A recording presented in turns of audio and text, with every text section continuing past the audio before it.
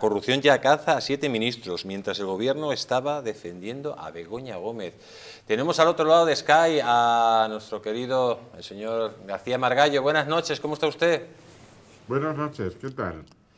Señor Margallo, eh, estamos viendo una situación que no se haya visto nunca en la democracia española, eh, un presidente de gobierno que puede terminar en el banquillo, siete ministros de su gobierno que están salpicados por la corrupción, la mujer, el hermano de Sánchez. Eh, ¿Esto a dónde va a terminar? Porque es que el, informe de la AUCO es la punta del iceberg.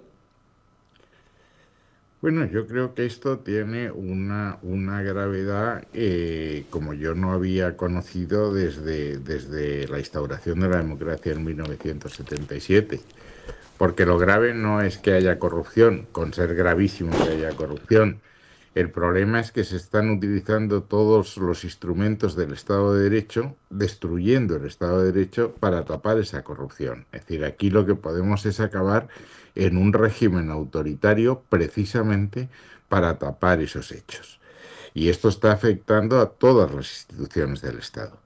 Está, está afectando al poder, al poder eh, legislativo, que no duda en dictar leyes eh, claramente contrarias al espíritu de la, de la Constitución. Estoy pensando en la ley, en la ley de amnistía está afectando al poder, al poder ejecutivo, que utiliza todos los instrumentos de que, que tiene la administración para intentar tapar esa corrupción. Estoy pensando en los seres de Andalucía, estoy pensando en la utilización de la abogacía del Estado, que por definición está hecha para defender los intereses generales y no los intereses particulares, de la que no se ha dudado en tirar de ella para interponer una querella contra un juez que está juzgando a la mujer del presidente del gobierno, cuando el presidente del gobierno había sido citado como, como testigo en su calidad de eh, marido, de esposo de una eh, señora que estaba siendo investigada, es decir, en su calidad de ciudadano y no en su calidad de titular del Ejecutivo. Está afectando a la Fiscalía, que se está instrumentalizando en todos los niveles, no hay procedimiento judicial en que la Fiscalía, eh, si, si, pueden manipularla, no la, no la, no la manipulen, en la, en la instrumentalización de la justicia y en la instrumentalización de los medios de comunicación, a los que están intentando silenciar cuando se atreven a denunciar casos de corrupción como los que se están investigando. Yo en esto que soy intento ser coherente con lo que es un Estado de Derecho, no juzgo nunca los casos que están bajo un procedimiento judicial hasta que no haya sentencia.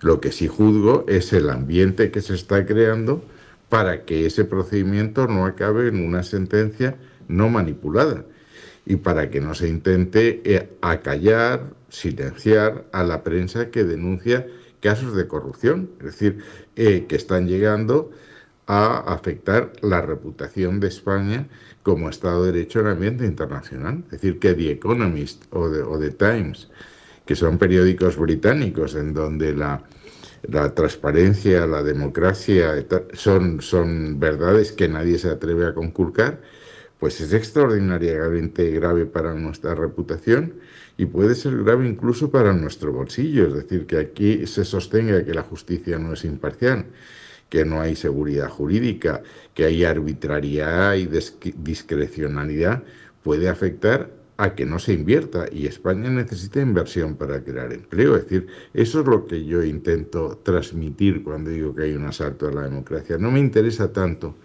el caso concreto de la persona concreta en una corrupción concreta, sino lo que se está haciendo para, eh, para silenciar esa, esa corrupción. Fíjese, a mí que me gusta mucho la historia.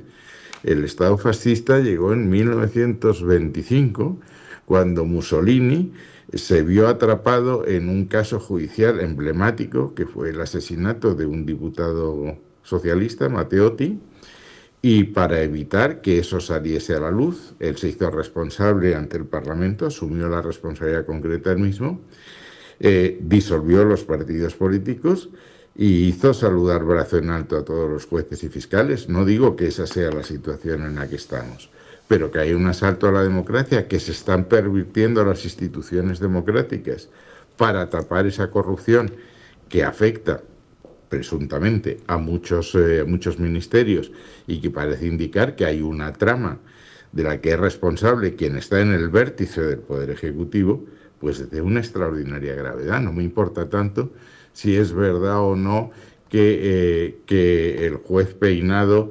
ha, dictado un, procedimiento que no es demasiado concreto, aunque la, audiencia ha dicho que sí. Me importa mucho que se pueda intentar apartar a un juez de un procedimiento en el que está implicada la mujer del presidente del gobierno porque no les gusta lo, que está, lo que está investigando o cómo lo está investigando. Eso es la gravedad, es que todo ciudadano se puede sentir indefenso y lo que es peor, pasto de una campaña mediática para destruir su credibilidad en cuanto denuncia un caso de corrupción. Eh, ¿Qué opina usted que hoy se haya descubierto que Sánchez autorizó la entrada de Delcy Rodríguez aquí en España?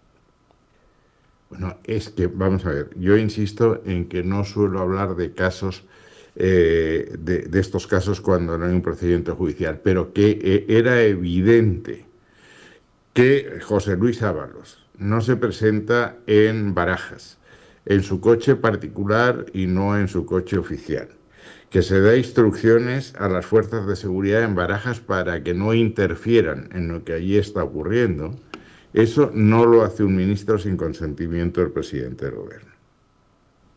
Eso es, es un hecho evidente, es decir, no hay a nadie que se le ocurra que estas decisiones se toman sin tener la precaución de cubrirse las espaldas eh, consultándolo con quien te puede con quien te puede cesar, vamos.